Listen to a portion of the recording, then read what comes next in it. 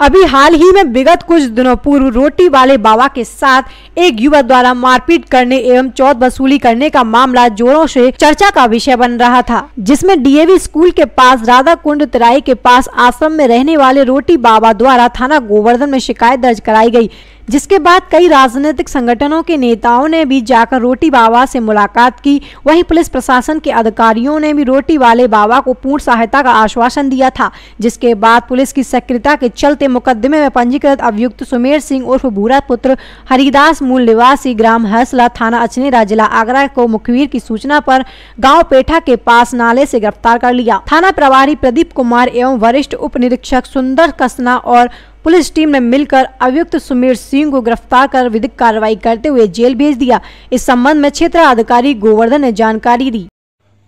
थाना गोवर्धन में 11 तारीख को महंत श्री नारायण दास द्वारा, जो रोटी बाबा वाली के नाम से फ़ेमस है, के द्वारा एक मुकदमा क- पंजीकृत कराया गया सुमेरपुर भूरा के विरुद्ध, जो उनसे अवैध रूप से पैसे की डिमांड तथा गाली गलौज एवं धमकी दिया करता है।